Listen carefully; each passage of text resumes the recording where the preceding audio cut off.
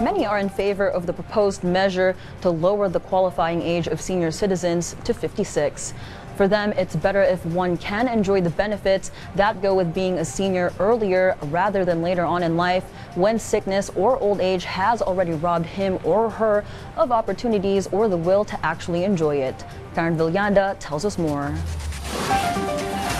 53-year-old Lady Beth has been a street vendor for three years now. She hardly earns the money she pays for the bills. That's why she is worried that she can't make it to 60 years old. Hindi ko alam, buhay pa ba ako nun? Matanda na ako eh. Agahin na lang.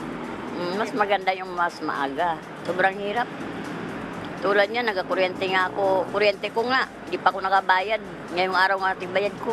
Senate Bill number 1572 of Senator Bong Revilla aims to amend Republic Act number 7432, lowering the senior citizenship age to 56 years old from the present 60 to avail of benefits much earlier. The senator said many Filipinos won't reach the age of 60, especially with the COVID-19 pandemic. Based on the data of the Department of Health, 7.33% of senior citizens died due to COVID-19, much higher than the 0.76% of those ages between 18 to 59 years old. Under the existing law, some of the benefits of senior citizens are 20% discount and VAT exemption on medicines, medical supplies, transportation fare, and hotel, 5% discount on electricity and water bills, and others. But it is not specified in the bill if it will also change the compulsory retirement age of 65 for a senior citizen. According to Senior Citizen Party List, an amendment to the law is needed because the government will have a challenge to fund the social pensions.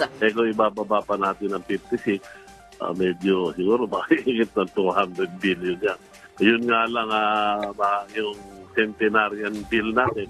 Kahapon pinag-usapan sa sa Kongreso.